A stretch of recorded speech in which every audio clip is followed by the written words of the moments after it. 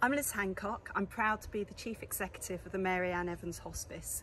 We've been here for 30 years serving the people of Nuneaton, Bedworth and North Warwickshire and surrounding areas, providing end-of-life care and palliative care to people within their own homes and here at the hospice during the day. Our family support and bereavement service is also here for people when they need it. Thank you to the Mayor for choosing us and to local people for the support that they have given us and hopefully we'll be here for another 30 years. Thank you.